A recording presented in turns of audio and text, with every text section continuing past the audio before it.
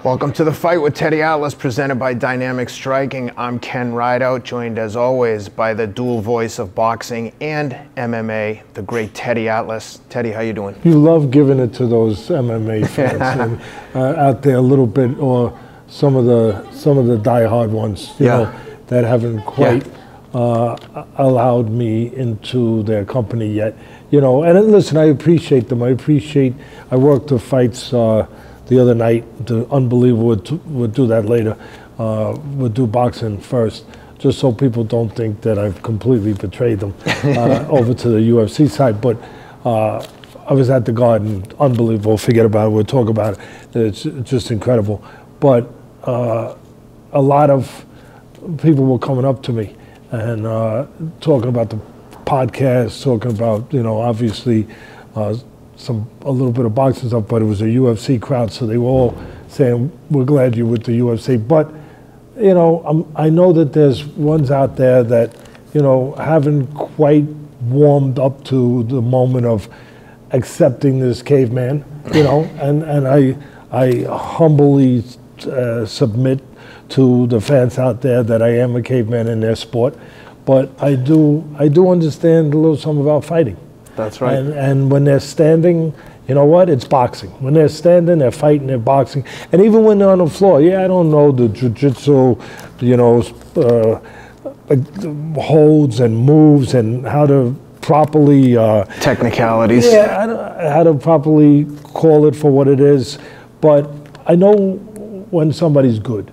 I know when you know somebody even on the mat outside of my terrain when they're on the mat uh, that when they're using this and when they're finding a way and when it's as I've called it before when it's floor chess. Yep. Because it becomes floor chess for me. Yeah. Because because in boxing, I it's always about the intricacies. Not just about who's stronger, who's tougher, who's who, who's faster, but who's smarter, who figures out, who figures it out, you know. And so I see that. But again, I I appreciate the fans. Thank you for letting me into your house.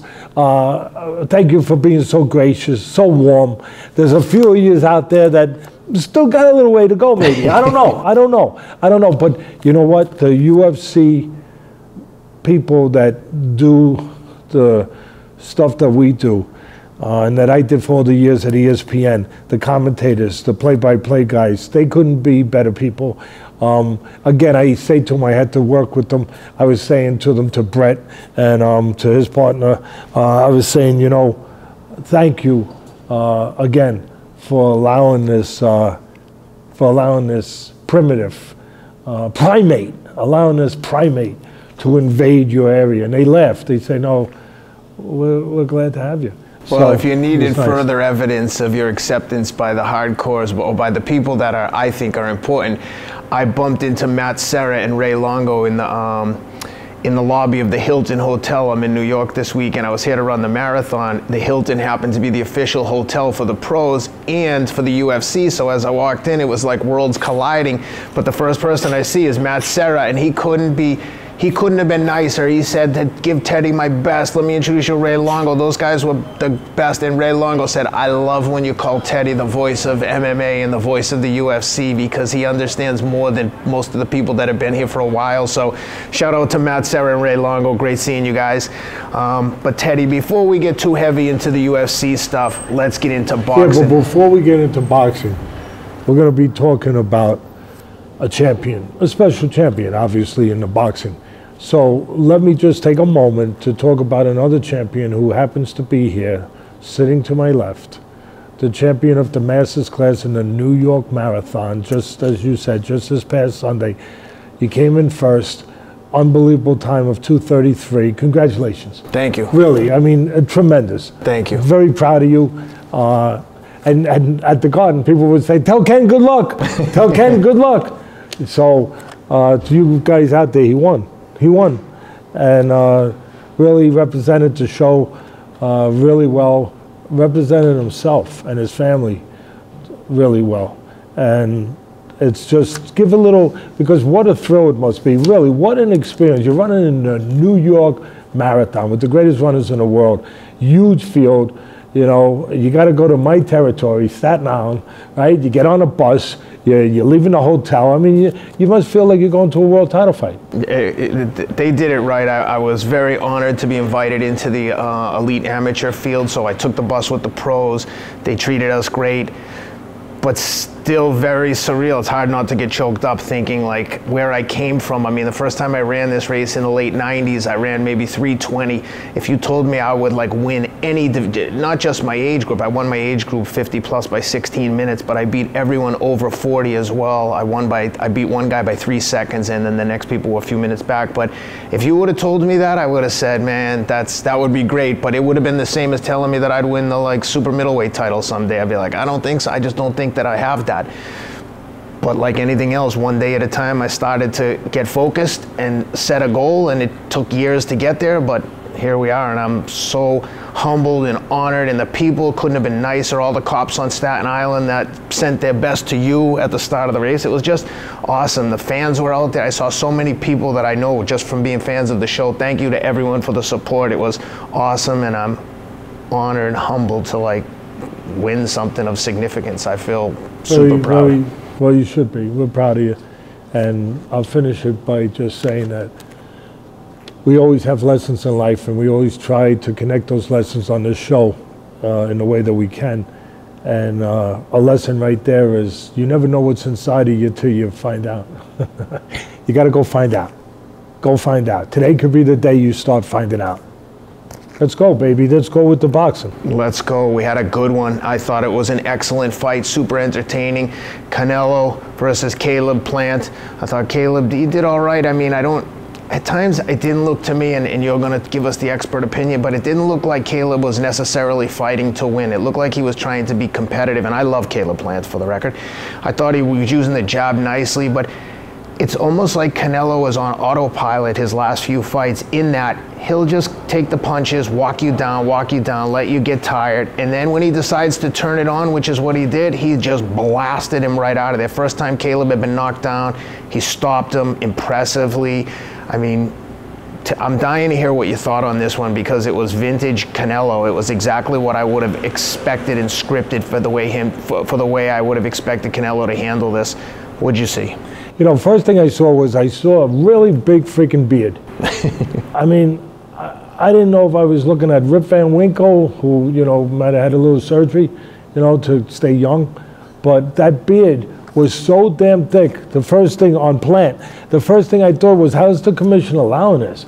Because in the old days, they would literally come into the dressing room and give you a raise and say, good, get that off if you want to get in the ring. Literally. Because there's a reason. One, in the old days, they didn't want you to have a beard because if the other guy was cut, you could get inside and grind your beard into, I know it sounds pretty gruesome, but you know, it is a tough sport.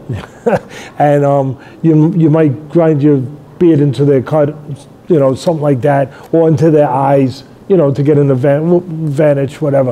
Um, but also for a cushion, that, that you gotta, to hit the guy's chin, you gotta go through this, this much beard you know, so I was like shocked that Canelo's team, maybe that's just a conference. They say it don't matter. I think guy, that's guy could come in with a football helmet. We're knocking you out. We're knocking you out, baby. Um, so I, I don't know. But that was the first thing that hit me. And then as the fight went on, and, and he was taking some decent shots, not a lot of clean ones to be honest, but when he took a shot, he was handling what he had to handle, and he was showing a good beard. I say, that's the word, a good beard. You know, the old timers would call a good chin a beard. I, was like, no, no, no, he's got a good beard. A beard, like really a beard. But um, I, listen, at the end of the day, uh, I get what you're saying, because his strategy was, if it was to survive, to win by surviving. That was the strategy, to win by surviving. You know, stay on the outside, you know, box, try to be elusive, uh, try to be a ghost as much as you could be. And, but, I gotta be fair. In all fairness, you gotta go with what your strengths are, what your style is, what your identity is, you know, what got you there. And you got to also be able to recognize what you can't be.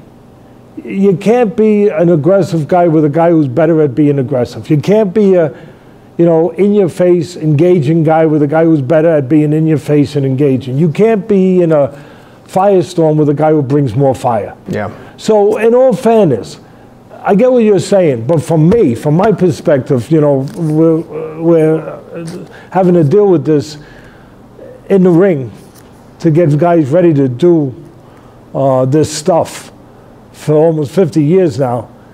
I, I saw him strategically fighting the right fight, picking the right fight plan for him. Uh, again, with the guns he had versus the guns the other guy had.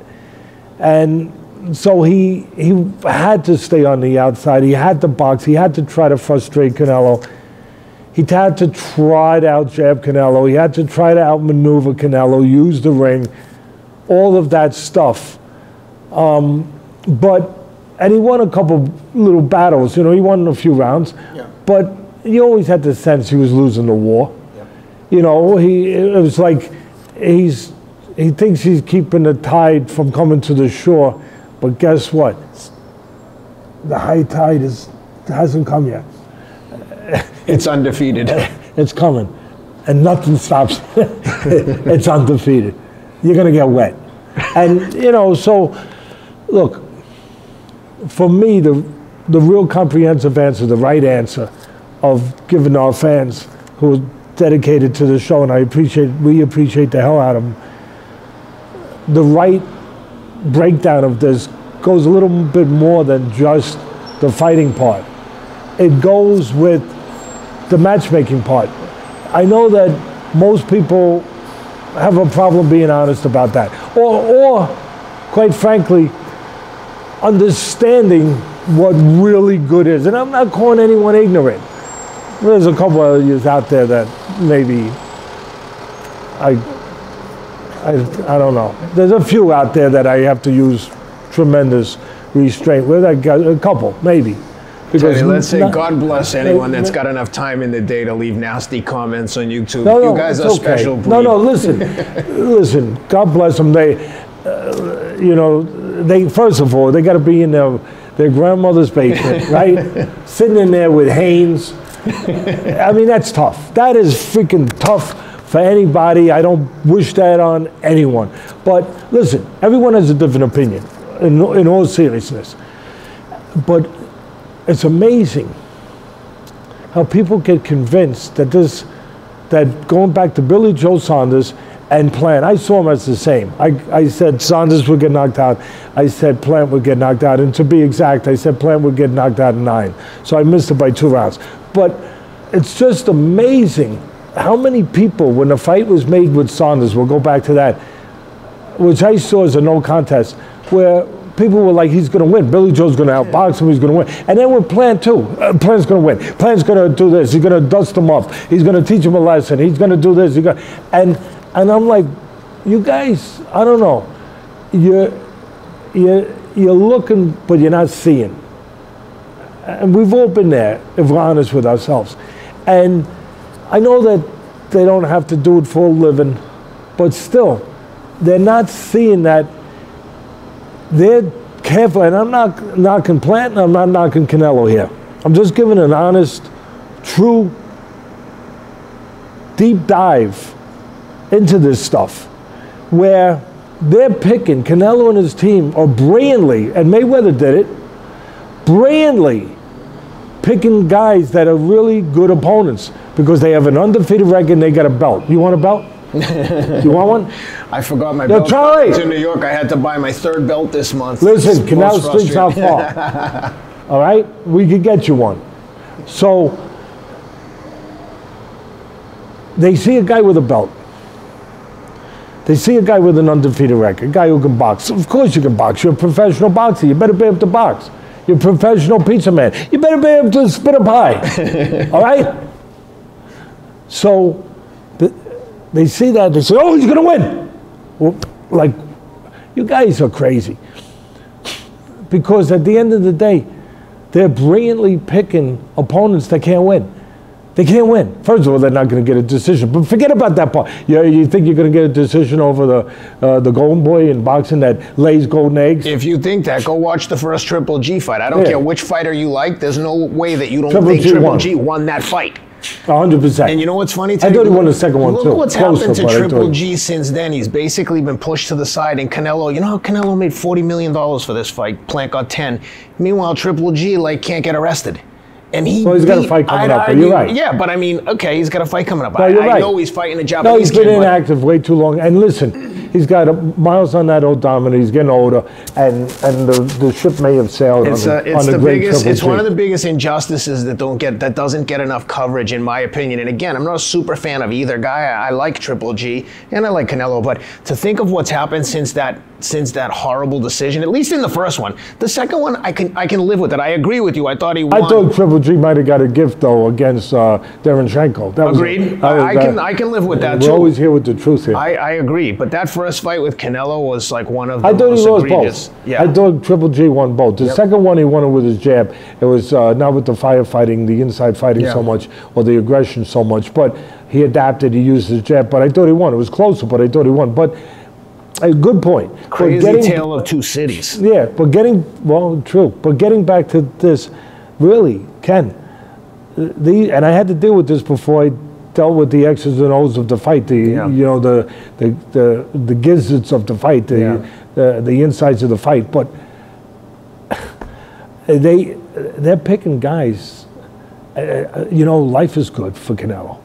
40, 40 Life- million bucks, man. You're picking guys that really are, are they're nothing but really well picked opponents. Do you understand? You're fighting guys that have built up records. And I'm taking nothing away from Plant or Billy Joe Saunders, but look at their records. They're built up like they got built up for this, to get to this, and they got to it. Congratulations to all the people that helped navigate that. Congratulations, job, uh, success, well done. But they were they were built up records. They were fighting these guys. And Canelo, Canelo's not the greatest um, there is. He's beatable. Of course he is. He already got beat. We think he got beat three times, but officially he got beat once by Mayweather. You know, a special guy. We get it. But and and you could say, I, I hear you. I hear you down there in the bunker. I hear you. I hear you saying, but he's grown since then. He's gotten better since then. Yes. That he definitely Yeah, has. yeah, he has. And I give him credit because he has evolved. He has continued to get better uh, in his journey to, to be the best fighter he can be. Where, quite frankly, Triple G wasn't. He got to a point where he wasn't getting any better, you know, with his trainer. And Bud Canelo with his trainer, he was getting better. And the trainer deserves some of that credit, you know. Uh, so he's beating guys that are set up. He's picking guys that they can sell it, and and they know what's going to happen at the end of the day. And Kovalev, another perfect example. yeah. Kovalev was too old. Kovalev was too rich. And he had the belt. Ko- Ko- Kovalev was the kind of guy you could make quit. Uh, you could. Andre Ward proved that. Um, you know, he had a lot of wealth. Uh, you know, he he was. The ship had sailed on his career. He was happy. He was satisfied. And what did he do? He put pressure on him, and he made him behave the way I just described at the end of the day, uh, late in that fight. But he he's these people, the public, some of them out there, like really, you gotta learn from this. You gotta learn that he's not fighting Haglers. He's not fighting Hearns. He's not fighting blown up Durans, who who blown up and late in his career was was would have been a real challenge, a real challenge. Not these guys. He's not beating Pernell Whitaker, who went up to super middleweight once, fought a really strong guy. He was only, Pernell, the great Pernell, was only a lightweight. He went up to super middleweight and beat a guy. He's not even, he's not fighting those quality fighters with those kind of skills, those kind of abilities. He's not. As I said in the breakdown to this fight, that Plant can win because he does a lot of things well, but nothing great. And if you're going to beat a real, real good fighter, some people call him great, whatever. If you're going to beat that great fighter, you got to do one thing great. Yeah, do one thing great. One. And he didn't do one thing great. So for me, it was an easy call. You know, hello, my bookie. Yeah, yeah, I'm getting down on. Uh, yeah, Canelo. Yes, Canelo. I, I have to lay uh, four hundred thousand to one.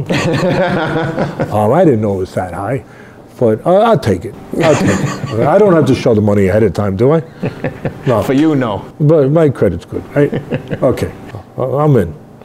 I, I mean, so having said all this, and hopefully setting the record straight and getting people to think in a way that I think that they should once in a while a little bit. Uh, he pressure breaks pipes, pressure breaks people. Plant, I give Plant credit more than Billy Joe. He didn't quit. He didn't, you know, just just chuck it in. And listen, Billy Joe had a broken orbital. I get it.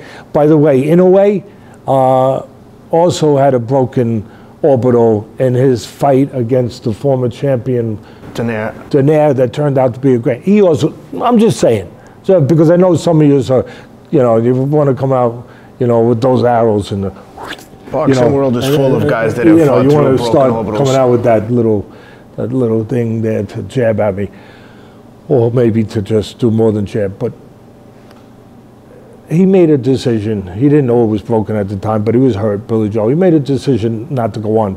Listen, he fought an okay fight, but he was getting knocked out no matter what. He No did what he could do. He did what he could do with the talents he had. And like I said, he didn't have great talent in one area, so he did what he could do. And but it was leading to the same thing. In this fight, Plant did what he could do, and he went all the way to the end of it until he couldn't do it no more. So I give him credit for that. And I, he behaved like a fighter. I give him credit for that. And um, I, at the end of the day, he was jabbing. He was he, he grabbed a couple rounds, but there was only one guy controlling the fight. There was only one guy landing the harder, more effective punches, which pro boxing, that is what the scoring is supposed to be about. Yep. You know, because they do want to put you guys in the seats. It's not amateur boxing. The rules are different. So they make the rules who lands the harder, more effective punches as the barometer, the criterion for scoring. So they can get you into the seat. Otherwise, they might not get you into the seat. So I, at the end of the, again, Plant was doing what he could. He was jabbing. He's trying to control the outside, and you know he was fairly elusive. Uh, he was either blocking the big left hooks with his right glove, or blocking with his right elbow, blocking a hook to the body. Good job. Good. He was prepared for those punches, and then he was doing a little bit of a poor man's version. I'm not knocking him. He did a good job, but the truth is the truth. I don't care what you guys would like to hear to to soothe feelings. I just want to say what is the truth. I, I'm a lot of people out there. A lot of the you're not going to get that over here. Where a lot of these come, oh, they're going to say something because they don't want to offend anyone. They want to stay friends with everybody. oh, they want to play that game. I don't give a freak. I don't. I don't. I'm sorry. I don't, I'm not looking to offend nobody. I'm not looking to do, but I'm not looking to kiss nobody's, you know, bottom. I, I'm, I'm looking to say things that I know and believe to be true. That's all. So he was doing a poor man's version of the Mayweather, where he get his shoulder up, and but he slipped to the right two or three times to make the to make those punches miss, and he was doing that good. He was doing that pretty effectively. What Canelo started doing, he should have done earlier, was don't chase what's moving, the head, bang over here what's not moving, the right hand, bang the right hand to the left side of Plant's body. That'll stop the movement. And he started doing that. And it helped. He saw instead of chasing ahead. But it took a while. You know, it takes a while for the pressure to build up to break the pipe and to break the human being. So, but he knew what he was doing. And that's why he said he might have been winning some battles, but he was losing the war. And Canelo kept putting the pressure on. Canelo, one other thing. When Canelo used the jab, the fight was farther apart. But when he didn't use the jab as much, then then Plant could pot shot on the outside because he didn't have bugs on the windshield. You know, he didn't have nothing distracting him, nothing blinding him, nothing keeping him busy. So he could pot shot, he could use his own jab. But when Canelo started using his jab, big difference, big difference. It took away a lot of what Plant wanted to do and could do. At the end of the day, he gets in. Finally, the pressure helped him get in. People, like some people said, why? Why did he stop moving? What's wrong with him? Why? Um, because of 10 and a half rounds of pressure. and it finally, punched in the yeah, arms and the yeah, body. It finally got to him. And so he stayed inside there. And, then, and another thing that made it a fight that looked competitive, even though at the end of the day I don't think it was. It, it had the look of it. But I think that that's a good looked, description. Yeah. That's exactly what happened. It yeah. looked competitive, but when Canelo turned it on, it was just like, yeah. holy and cow! What's go- the waves are coming. Yeah, it, it was. It was an illusion. Yep. You know, it was an illusion. Like like uh, you know when you go to the magic show, you know, and uh, it, it again it was the perception that only it's competitive, but no, there was only one guy going to win. One guy that was breaking the guy down. The pressure was starting to starting to dissolve him, starting to to disintegrate him a little bit, you know. And the other thing that kept it close though was Canelo was throwing one punch at a time. He does that too. He does that sometimes too much. He was throwing one punch at a time. He get in, boom. He get in, boom, boom, one shot. In the 11th round, he finally put him together a little bit. And he did. He put them together. I know he heard him, and then he put, but he finally started putting them together instead of one. I, I kept saying while I was watching it in between the UFC fights, um, because they were nice enough to, they had us in a suite watching the UFC fights, and they were nice enough to pipe in the, uh, the Canelo fight later. By the way, speaking of that, they have a cool picture of Dana White sitting ringside watching the Canelo fight on a monitor ringside, like literally where Rogan's sitting in this, Dana watching the Canelo fight, watching the boxing. I love, I love that about Dana. He just does. He just does what he does. He's like not concerned about perception. He knows it's a good fight. I have respect. Well, he's kind of like what we just talked about here. He doesn't give a rat's ass. Oh, I'm sorry. I never. I didn't mean to even say that. A rat's tail um, about what other people think. He he he's going to do what he thinks is right, and we're, it's the same attitude here. I'm going to do what I think is right. I'm going to say what I think is right. And Dana's the same way. Like the people that like me, good. The people that don't, good for them. You know, it's okay. Fine. And the one thing I will say about Canelo, about PBC, who did this fight versus Canelo's fight, DAZN did against Kovalev, they basically got so disrespected. They made DAZN put those two fighters wait one to two hours until the UFC was done so that then they would start the Canelo fight. This time they were like, look, you guys have an event, we have an event, and they started it. It was on, it was, it stunk trying to watch them both, but I hated seeing Canelo and Kovalev waiting for the UFC. Like, come on, man, be a competitor. Get in there and throw Think down. there was any competition between the two undercards? Listen, I was going to say, no. when you were done with the Canelo thing, I want to say the undercard for the Canelo fight was as it could have been like in your local VFW. You no disrespect. Fans, you boxing fans out there, really, I love you, but they get like mad at me when I say that UFC is passing boxing as far as uh, popularity in the way that the numbers, their numbers on views during a show are higher than boxing on a regular on a regular platform, on in a in, in, a regular setting, consistent fight. I'm not talking about when you have Canelo against Triple G, you have a super fight, or when you have Joshua against Fury, if that happens, whatever. That that universe is going to be bigger because the boxing universe is larger, uh, and and on that, it'll be bigger. But the universe of UFC has grown so much, so much, with Dana, simple formula put on competitive fights. Put on fights that anyone can win. Either guy can win. Even the guy with seven losses could beat the guy with one loss. It happens all the time. Yeah, because they learn how to fight. Because they went through the fire and they got forged to a real fighter, to where they fit, they belong, they can win at that level. And in boxing, no. You protect the guy, you keep their record undefeated by giving them, you know, by giving them a liquid diet of opponents and then sometimes they get to where they're going to have a, you know, to sit down with uh, a steak and potatoes, and guess what? They get indigestion. We've seen it happen with guess Canelo's what? last a, handful of opponents. They get, they get a problem. They get a problem. And on the way that you're watching this happen, and they're fighting all these setups, these handout type hand-picked fights that the network and the promoter wants to continue to build their fighter. You guys are suffering through one-sided fights. That doesn't happen in the UFC. That's all I'm saying. And I'm, you know, I'm fighting for you guys, fighting for my sport, trying to wake someone up, which is never going to happen.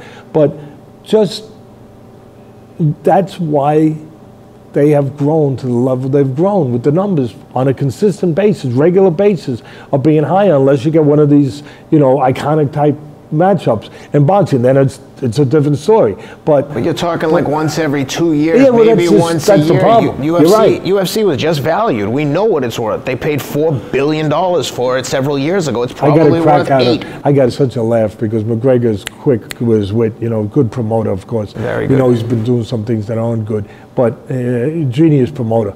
You got to give him credit. And he and he was like Ali that brought boxing into a different, uh, you know, a different tax zone, uh, if you will, for Yeah. other fight where you could make more money than they ever made before, where the promoters were making it all. Well, McGregor brought UFC for certain fighters to a place where they could make more money than it was ever known they could make, or Yeah. ever thought they could be made before McGregor started, you know. And there's always a pioneer. There's always a guy that leads the way, and he was that guy. But I remember that funny quote when uh, when they came out and he was on the stage for some fight. I can't remember what it was. Uh, it might have been Mayweather. I'm not sure. But and it came out that uh, that UFC had been sold for four billion dollars, and he said, "That's good to know. Now I know my value." Yep. That was that was that was sharp. Now now I know what I'm worth. In other words, I am the uh, the business. I am uh, UFC. You know, the, uh, at that time, and of course we have other stars too. But that is why you put on an undercard like they did the other night. That's why the UFC is going to continue in their growth and in their march to beating boxing on a regular basis in the numbers. Because look at what they put on on a regular basis. Look at the wars. Look at the, I mean, they put epic fights on that you don't even know who the main event is. Hundred percent. You're like at the end of that night, you're like, oh my God, who was the main event? I mean, uh, the the first fight of the night was was one of the greatest fights I ever saw in my life. I feel like every week I'm like Teddy. That was the fight of the year in the UFC. I'm not. I'm not exaggerating. I'm like Gaethje Chandler fight of the year, but I feel like I don't even want to say that because I feel like I've said it 20 times in the past two months. So getting back to obviously the fight with Canelo and Plant. Plant probably did the best he could, Yep. and I give him credit for that. And and he got ten million dollars. And you know, just like when Tyson was around, the fighters are benefiting now from a star being around because you get paid more. You get paid 10 times more. You know, I'm just saying 10, but Yeah. whatever it is, you get paid a lot more. And it might be 10 times more because what would Plant have gotten? A million dollars, a million and a half dollars or something? I don't know. But now he got $10 million. So just like when Tyson was around, people were getting paid much more than the value would have been for those fights. And Canelo, he finally put punches together in the 11th round. The pressure finally caught up to Plant. And he also showed his, you know, his calmness and his improvement and his, his cerebralness where, you know, all fighters, top guys got to be smart. He caught him the, this time he caught him, he was, he wasn't catching him quite clean with the hook. This time he got him to stand up a little too tall. And he caught him, he caught him higher and Yeah. more flush with the hook, hurt him. But then he didn't smother himself. He gave himself a little space, little space, and he went over, whap, caught him that uppercut, finishing touch, finishing touch, smart, smart. And you know what that reminded me of? Tyson with Spinks, where people just see the end, you know, where Yeah. he went through him and think, oh, he went through him like a knife through butter. But he went through him not just because he was a puncher and because he was fast and because he, his technique, he made him miss, all of that. But he was smart. He, he, was, he was seeing everything, Tyson, at that point. That Tyson probably could have fought anybody at that night. He was never as good. Never as good after that. But he had him up against the ropes, one of the sequences in the first round. He had him up, he hurt him, and then instead of just throwing, that's what made him a great finisher. He went over to find the the spot, to find the space, to find the opening for the next punch. I think it was a body punch. And he went over. Oh, here it is. Bop! And that reminded me of what Canelo did, you know, where Canelo caught him the hook, boom, hurts him. Instead of just smothering himself, instead of just rushing in, he, he, he goes over, he says, oh, there's going to be a lane for an uppercut here. Whop! And then, you know, finish him off. So, uh, good performance, but again, you have to, you got to remember, he's fighting guys. I, I don't want to see anymore. And again, I'm not knocking Plant. I'm glad he got $10 million. Not knocking Billy Joe. He, he fought a real good fight up to that point, the best he could fight. And he did get a broken orbital bone. I get it. I get it. Um, but these guys weren't going to win the fight because of what I already said. I don't want to see them anymore. I don't want to see those fighters anymore. And they can keep doing that to complete this unbelievable contract that he signed for $350 million, whatever it is, um, and keep cashing these checks of $40, $50 million. I don't want to see him no more. I don't.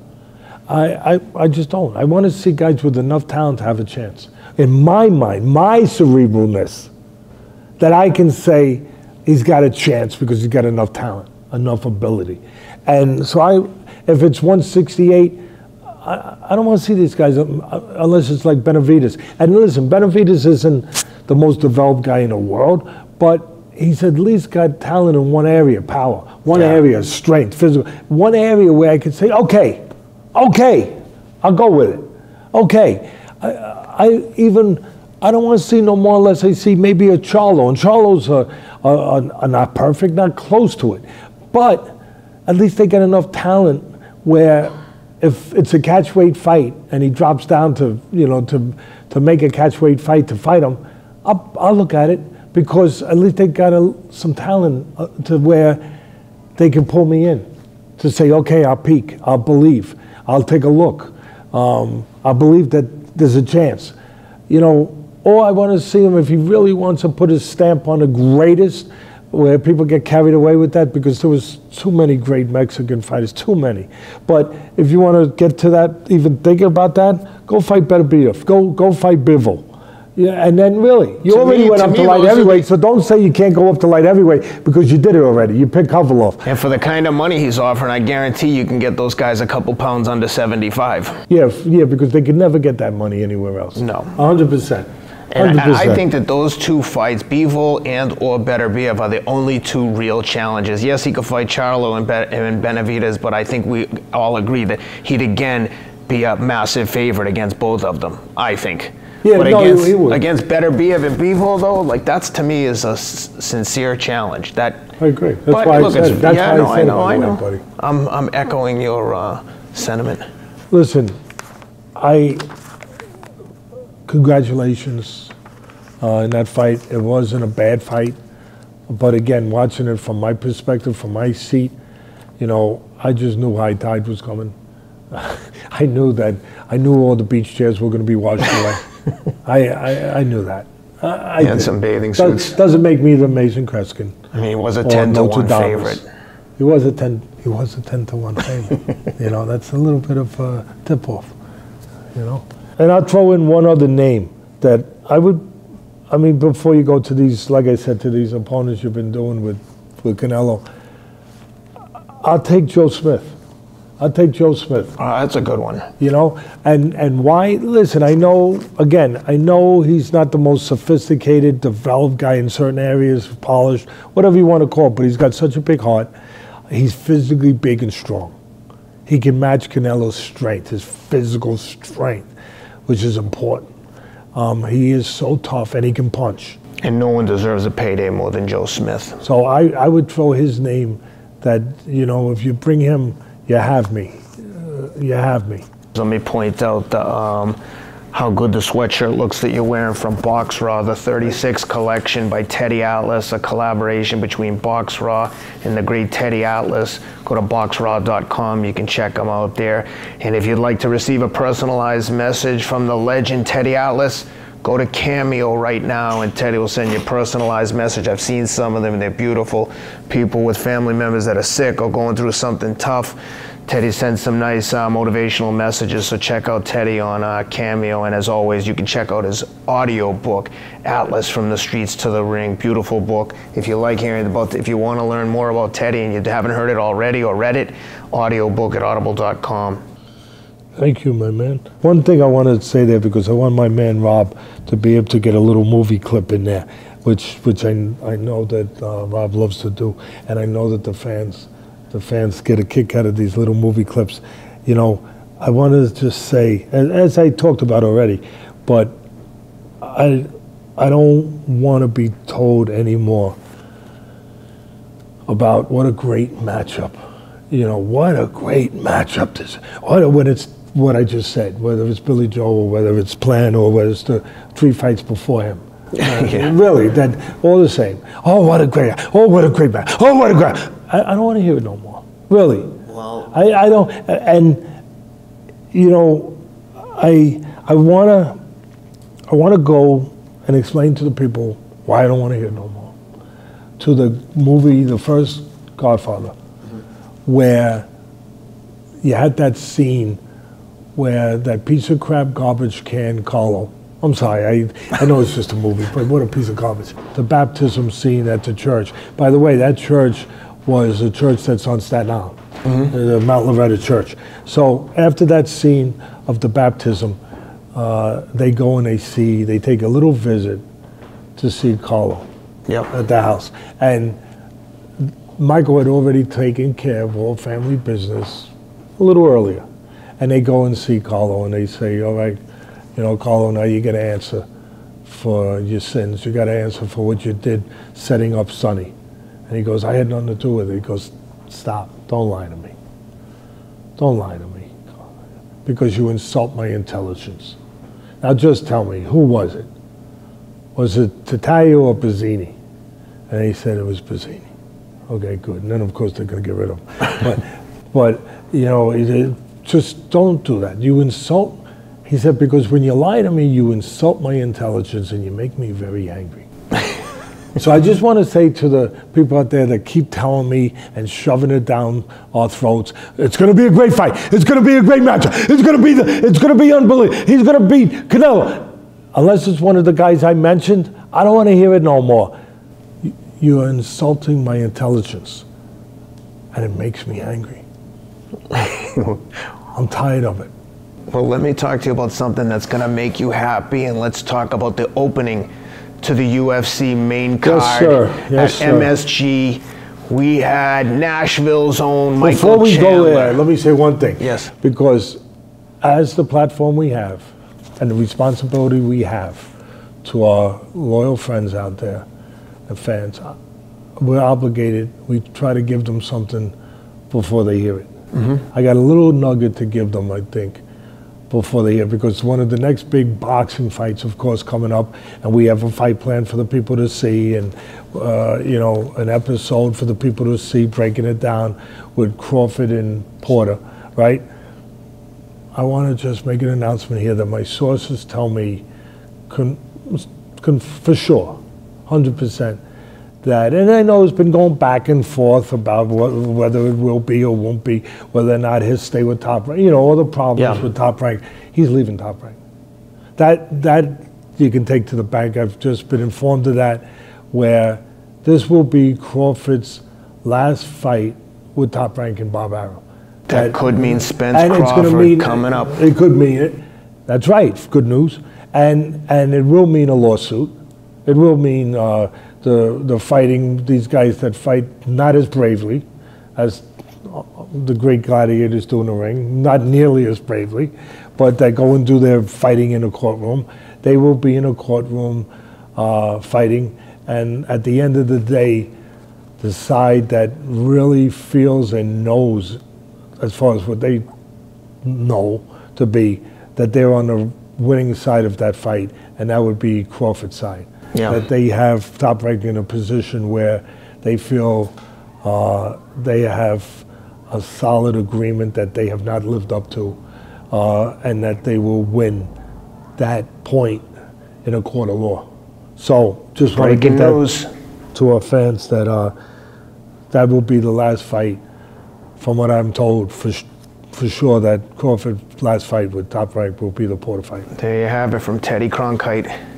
Okay. Very good.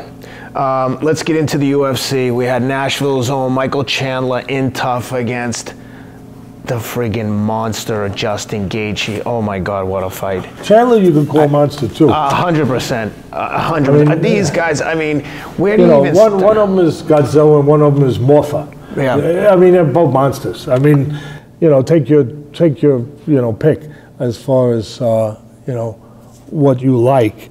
I was telling I was telling Rob when we were uh, together yesterday after the marathon. I was like, dude, I'm out of adjectives to even use to describe these guys. I, I, I cannot call them tough because this is like a next level of tough. It's almost like we have to find a word that hasn't been invented because these guys basically engaged in a 15 minute face punching contest. At one point, Chandler, late in the fight, just kept his hands down and took about six punches from Gaethje uh, for no apparent reason other than to say, like, I can take everything you've got. And his face was a mess. They beat He almost got to a place. See, I always talk about this sport, and I, uh, I always talk about my sport and, and the UFC sport, where, amongst other things, one thing in common, it's 75% mental. It is. And to your point, when, when Chandler got to that place, excuse me, where he looked like he was just like, God, come on at me. You know, I'll give you another clip, another clip, my man, another clip with uh, that that that great movie um, with Tom Hanks. Was it Gump? Uh, I don't. Forrest Gump. Yeah, I don't know if it was. Yeah, it was Gump, where there's the part. There were so many parts to that movie. Yeah. But the part where he went in the war and he got injured, but he saved his sergeant, and but his sergeant lost his legs Yes. and the sergeant was angry at him for saving him because he he lost his legs. But then the sergeant came to seek him out because Forrest had gone into the shrimping business, the shrimping business, and he was Bubba out Gump. shrimping. Yeah, Bubba Gump, shrimp, and he was out there, you know, looking for shrimp. And they won't find no shrimp. They were having a tough time. Like, you got to follow your dreams. You got to chase your dreams. You got to stay with it. You believe, Stay with it. That's destiny. What's destiny? You making it destiny. That's destiny. You make it, yeah, having faith. That is the ingredient to destiny. You will get your destiny. And he believed and he kept trying. And then Sergeant came and he was with Forrest and they were on a shrimping boat and they weren't getting any. He was partners with him now. And he and he's they're not getting any shrimp. They're not and there's a storm. They're out at sea, there's a storm and he's up on the top of the mast. He climbed up to the top of the mast, you know, and he's screaming, "Come on! Come on!" That's all you got. It was like a hurricane. Yeah. Like all the other ships got destroyed. there were no more ships. That everyone got destroyed except that ship. And he said, "That's all you got. Come on, come with it." And he go, and then when it settled down and it calmed down, there were no more ships. They caught all the shrimp. They became zillionaires, right? So, but that's almost what Chandler was. He was like the sergeant up on the top of the mast.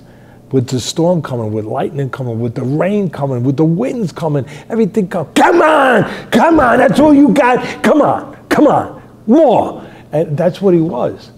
And I was talking about this one of the interviews after the fight that I did with the UFC. Great people, good people that allow me in there. I appreciate it. They allow this peasant into their to their thrones, into their into their great place there, and just a just a boxing guy. But they, I appreciate they let me in. And I was saying, I was saying that it was also like that, but it was also like the Rocky movie, where Rocky's fighting that big Russian guy, and he got dropped about 400 times, you know, movies, whatever. He got dropped a few times, and then all of a sudden he says, "I ain't getting dropped no more." He says in the corner, "I ain't going down no more. I ain't going down no more." Yeah. And he goes out there and he's getting hit, and, he- and he just keeps coming. He ain't going down no more.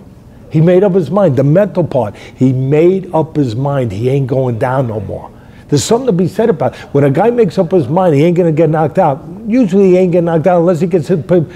Unless he gets hit a punch he doesn't see. Yeah. Where you don't have time to to brace yourself for Yeah. it. You know, to to get that will out in front. You know, to keep yourself from going to that dark room. Yep. Uh, to get yourself to go back to the light. Unless unless you hit him with a punch that he don't see, he, you ain't getting him down. You ain't getting him out. And that's that mental part. That's what it was like. To your point, that Chandler got to that place, like you ain't hurting me no more. You know, uh, uh, yeah, come on, come on. You know, and it made for great theater, but it it makes for true life. That when you set yourself, when you get your will, that that's steeled.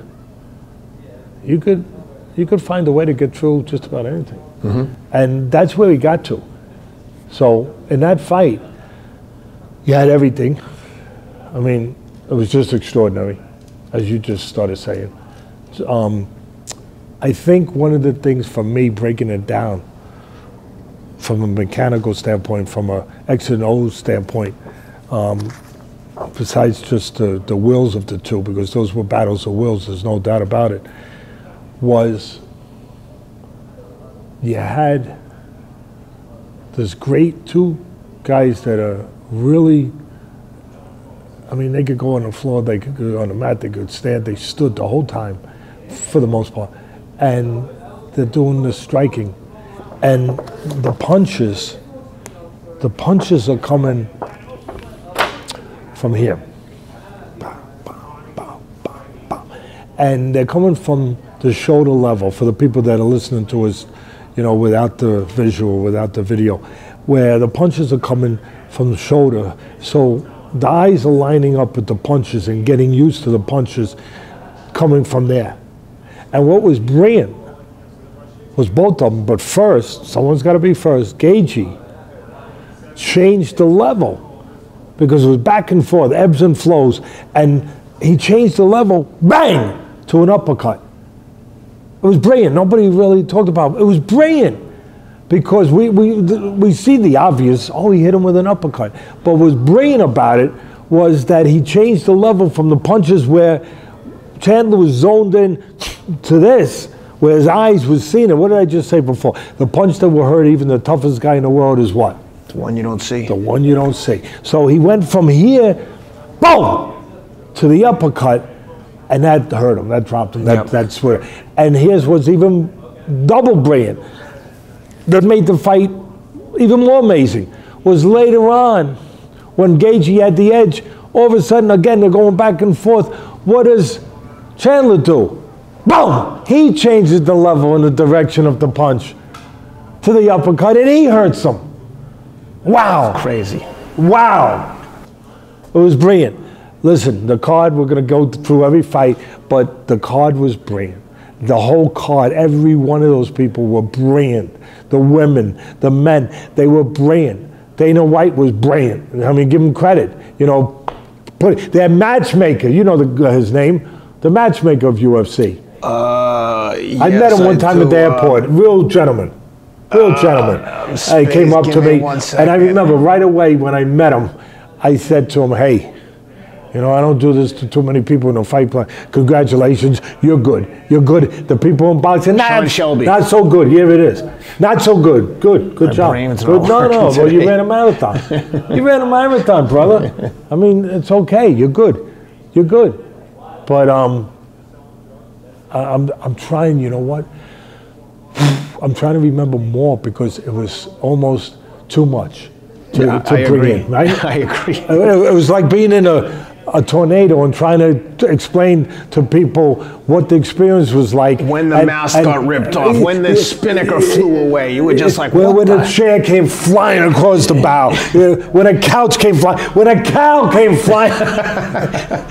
yeah, you, you, know, really. Yeah, it was crazy. Oh, yeah, it was uh, spectacular. Th- that fight was worth the entire pay-per-view. It was you could have paid if you, if you would pay seventy dollars just to see that fight. I'd be like, oh, that's good value. That's the, that's entertainment. And congratulations to Gaethje. He claimed his spot for the number two spot. It looks like he may be next in line to get the winner of uh, our man Dustin Poirier on December 11th against Charles Oliveira in Vegas for the uh, for the title. So that'll be interesting to see. Uh, a lot of people calling for That um, Oliveira um, Poirier fight's going to be a great fight. Oh hell yeah! It's going to be a tough fight. Oh my god! I mean, yeah. that, again, again, Exhibit A in a courtroom, uh, in a courtroom. If I'm fighting and trying to to explain to the boxing people, I, my boxing fans, who I love, because I don't love all boxing people, but the boxing fans that I love, uh, the reason why I talk about UFC is they're entitled to be talked about that their ratings went up because they put on fights where you could make an argument that either guy could win. There, there's not too many of those. There's not too many of those fights put on in boxing on a regular ba- uh, on a regular basis. And if you hear some talking outside, this is the real deal here, baby. I was just about we, to say. we are in New York City at Trinity with Martin Snow, who's also a star of a reality show. He's a former fighter, and uh, we he we are in his gym in Manhattan, and we have people fighters out there that are stopping by and, and regular people just By the people way, he's train, he's are- training his people out there because we're in the gym And because we're we're in the gym, he's out on the streets of Manhattan. He's he's out on the sidewalk, uh, training, working with fighters because they're good enough to let us have this space. And there's a little bit of a crowd also coming in and saying, "What's going on over there?" They uh, they're talking about some fights, yeah, and they're being entertained by, oh, the great Martin Snow. All right, so Teddy, we could probably talk about Gaethje and Chandler for p- two hours and write a novel about it. There was so much that happened in that fight; it was t- t- beyond words. But let's jump into the fight with Rose and Wei Li Zhang. Um, rematch. Rose finished her in the first fight. They went to war again. What a fight! Technically savvy, two savages. How'd you like that one? And um, what were the key takeaways there for for, for you? Great fight again, you know, and sta- and just stay into the standards of UFC. I love Rose. Just, uh, I, I love them both. Yeah. I mean, first thing, my thoughts, geography. Again, for me, one of the most important things inside here, inside the cage, whatever, geography. Who owns the geography that is best suited for their skills? And who gets that geography? You know, who gets the geography? Uh, they both battle to get that. You know, Li, uh, a little bit more on the mat, use her strength, her physicality, uh, her great, you know, abilities there. Uh, Rose more standing, striking, uh, terrific striker and long arms, uh, tall, where she can have an advantage by boxing, uh, traditionally boxing, where you're on the outside, you know, controlling the ring, controlling space. Uh, and here's what made it so great. They both took turns going into the other person's geography and having success. Yeah. Wow. That's pretty special. They both took turns because, yeah, Rose is boxing, but she's got an advantage supposedly, and she's striking, and all of a sudden, she doesn't use, you know, a couple times she didn't use her length 100%, where she should have used jab maybe a little more and got full extension on her punches to control and use her legs on the outside to keep that space from arguably maybe the more physical Wei Li. But then Wei Li does something while they're striking. Wei Li gets patient, pulls back a little, and forces or gets Rose to give up her height, give up her length a little bit, and get aggressive and come in, and then she counters her. Yeah. That that's just strategic, and it's brilliant because you're doing it in a place that is uncomfortable, a place you know where you're being threatened. You to think calmly in that kind of environment, that's brilliance. That's genius. That's that's that's why they're so special, and that's what they both took turns doing.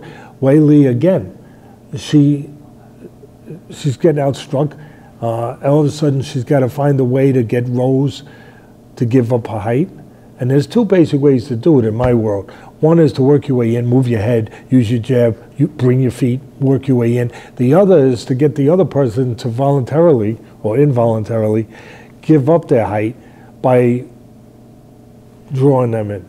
So Wei Li picked that choice, where she pulled back, she drew, she got Rose to be overly aggressive, maybe a little bit, uh, and give up a height, walk in, and she counted her. And then what does Rose do? Rose shows I can go into your geography, you go into mine, you get me uh, the better of me in my geography. You figured out a way. I get better of you. Not that either one of them had a big advantage in either's, you know, space, but I'll go on the mat with you, and I get better position. I get on top of you, and I get better position, and I'll be able to, you know, hold my own in that area. Yeah. And maybe have an advantage in that area. At the end of the day, really close fight. Uh, really close fight. I, I had it, I think, three to two Yeah. uh, for Rose. But really, again, just a tremendous representation of the brand uh, of UFC and of the brand of these special people. Yep. Their own brand, their own code, that they're willing to go to dark places to find the light. Yep. Um, that's it for with that fight. I mean, unless you want to go. No, and, that's uh, perfect 'cause I know we have a lot to do. That's a perfect summation. Brings us to the main event, the main course, if you will.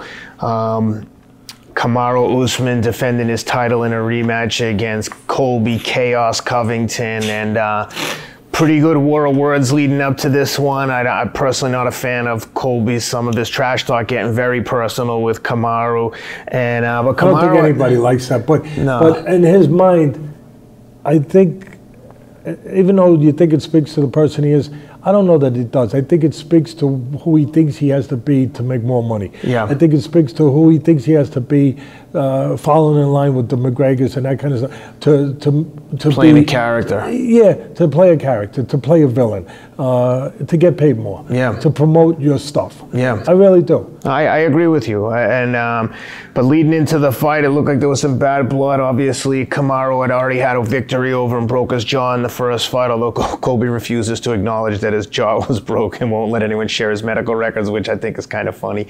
Um, nevertheless, Got a lot of pride. you know. yeah, yeah, no, I know, but I mean, he everyone heard him tell his corner that he broke my jaw. Um, But he didn't know at that time either Yeah. because you don't know. Of course. Even- I mean, I know people going to say, Teddy, come on, you know you get your jaw.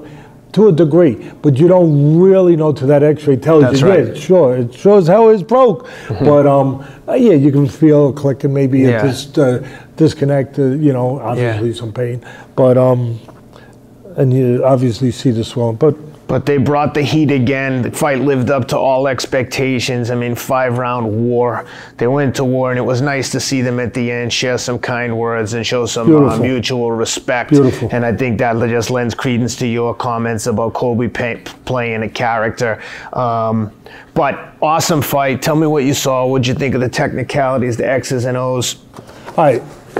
First of all, there's different talents. There's physical talent, you know, what can show itself in physicality, physical strength, power, and then of course speed, you know, and then you got technical talent uh, and expertise, if you will, uh, you know, in that area. But there's also a talent doesn't get talked about enough because it's not doesn't have a neon attached to it, a light attached to it. Well, I talk about it all the time. I talk about it for 25 years on ESPN, and some guys win win titles with this talent more than those physical attributes that come from birth, from genetics. They're not lucky enough to have some of those, uh, so they develop whatever talent they have to the utmost, or with whatever way they can, um, with hard work um, and proper direction. But there's another talent, a talent that's attached up here, a talent of being dependable. That's a talent in my book. That guy is dependable, reliable, steady, consistent. Talent, talent, talent, talent. And Usman's got a lot of that besides a lot of the other stuff. He is he is a consistent, reliable guy and he goes about his business in such a way, and that's one of his strengths, that he is he doesn't get outside himself, like Michael Jordan would say. You don't get outside of the game. You stay within the game. You don't you don't let it control you. You control it. And he has that ability where he's he's very contained, very reliable, very steady and very physically strong, and he's very good technically. He he's got all his boxes checked, and he showed that advantage because early on, the first two rounds, his physical strength, of course, but his ability to be technically more controlled, uh, less risky, uh, more in control, more contained, where Covington a little more reckless. And here's a funny thing I want to say right now. I always said this in boxing. My mentor Cus D'Amato used to say, Teddy, show me someone's personality. I'll show you the way they fight in the ring. People are like, what? What? What? Wait. So true. So true. And I'll tell you how they behave in life too. So true.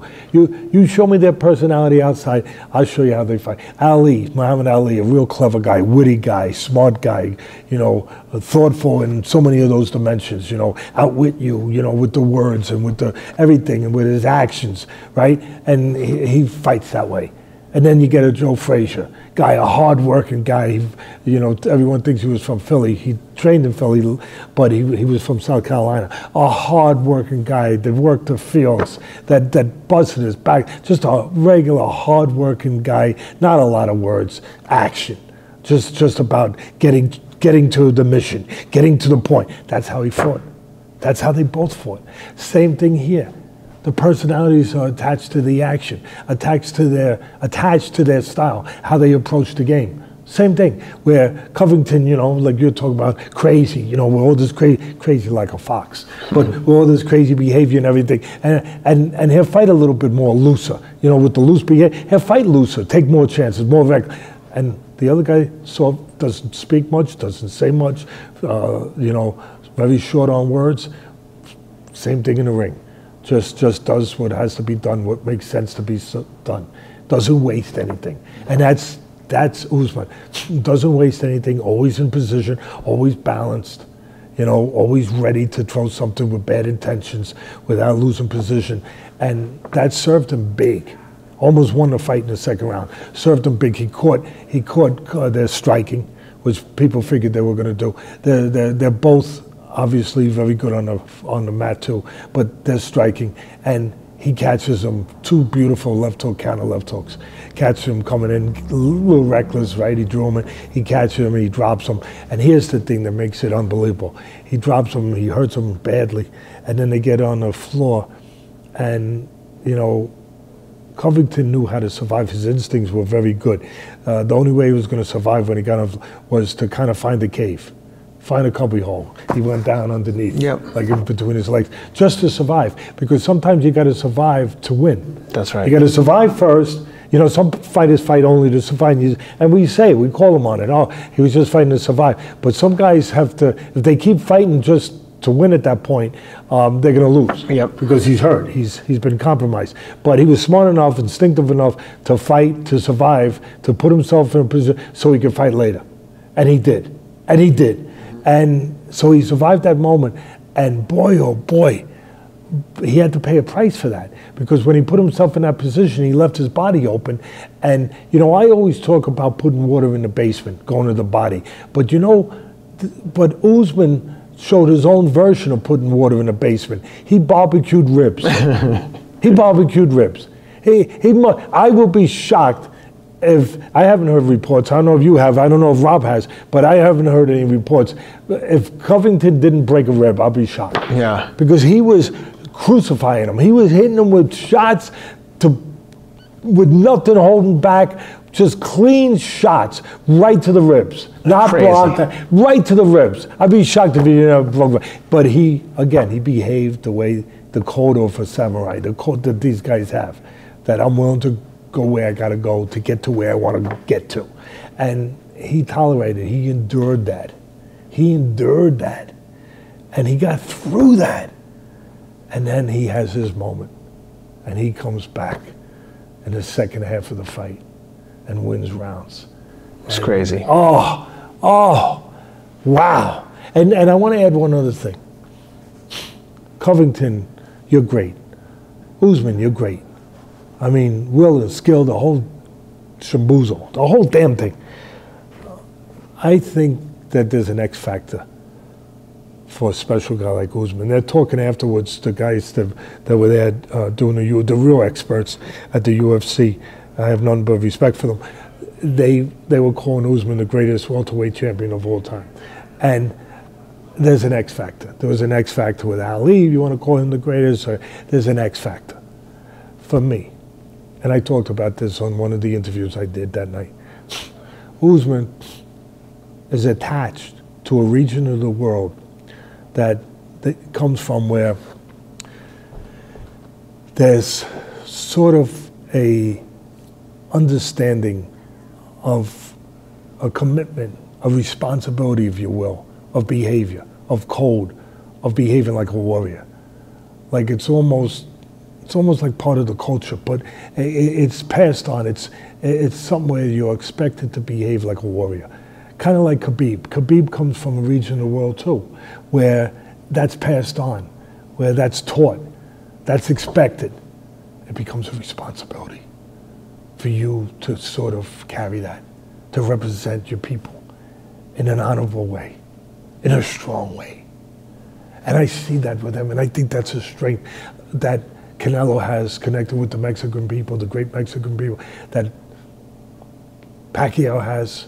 I'm mentioning all greats that Pacquiao has connected to the Filipino people, that Khabib has from his part of the that that that washes over the the rest of it. All the physical stuff I just explained and went down the list all it kind of washes over and gives a coat of armor, a coat of special armor to make those guys just a little better, a little more special. That's what I saw.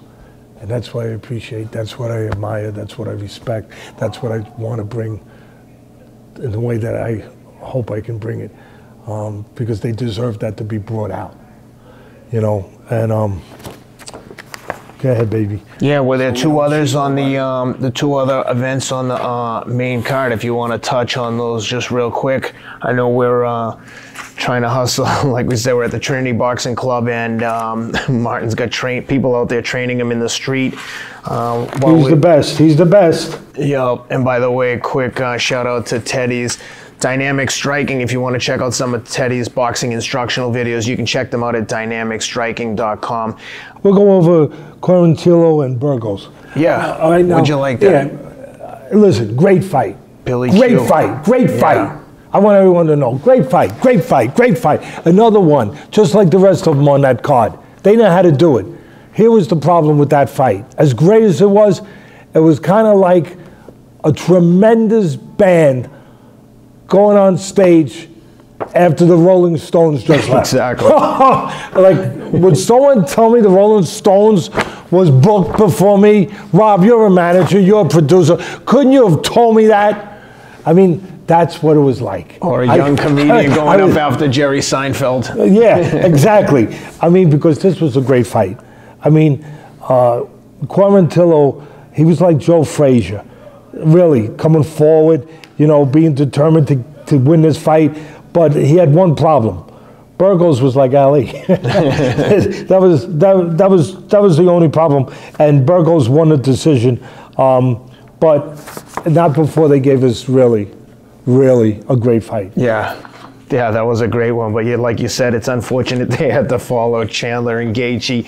Um, the other one was Edgar and Vera. Oh, Frankie Edgar, the legend, and Chito Vera. I want to say one thing. Really. Where do you guys get these 40 year olds from? I mean, Strong Island. Uh, yeah, well, there it is. Edgar 40 years old. We just watched Teixeira, yep. 42 years old, extraordinary. He just won the world title uh, at light heavyweight. Unbelievable, just unbelievable. All the credit, all the hats. I wish I had, if I had hats, if I had a toupee, I'd take it all off. I'd, I'd, take my hair off, my hat off. I mean, but where do you get these 40 years old guys? Um, he had the edge, Edgar. Uh, in getting the geography I talk about yeah. that suited him best, he wanted in the first round. He did, but it didn't last long. The second round, Vera, you know, Vera took control, uh, took over a little bit. He got the geography, and uh, I was, I was, again, I was just, I, I was just amazed again by these 40 year olds you know yeah. that they you you watch one a week what two weeks ago in Teixeira and then yep. you, you, see this but um, all of a sudden, uh, And Frankie Edgar's a surefire Hall of Famer. He's been around forever. You know what you're getting every time he shows up. He sprints from the locker room to the ring. He brings the heat every time. He's like Uh, one of those steady, dependable guys. You know what you're getting. Give all the credit to Vera. He Yep. was he was well rounded. He was well prepared. Uh, very versatile.